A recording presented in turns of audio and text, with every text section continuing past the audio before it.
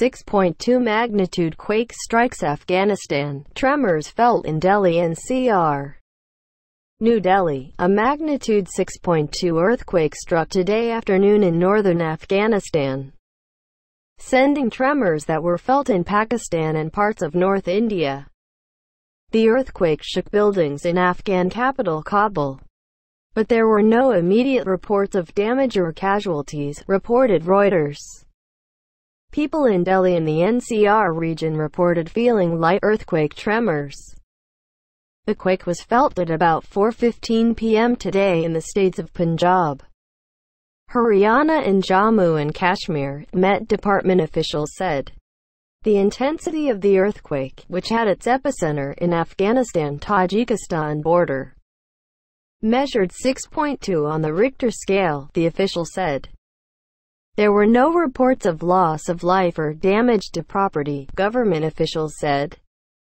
News agency ANI reported that the Kashmir Valley was also jolted by the quake.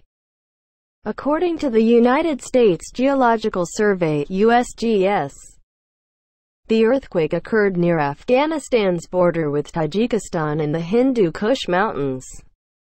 36 kilometers northwest of Ishkashim and at a depth of 111.9 kilometers. It was the second earthquake to shake Afghanistan today. The tremors were felt in most parts of the earthquake-prone country, said Mohammad Omar Mohammadi, spokesman for the National Disaster Management Ministry. In the eastern province of Khost, two children were injured when the roof of a house collapsed. Mohammadi said.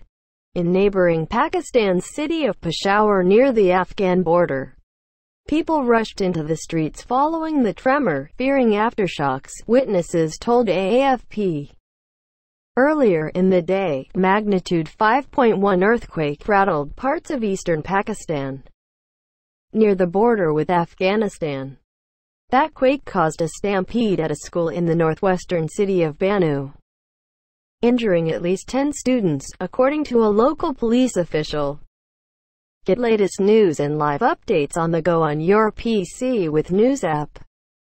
Download the Times of India News app for your device. Read more India news in English and other languages.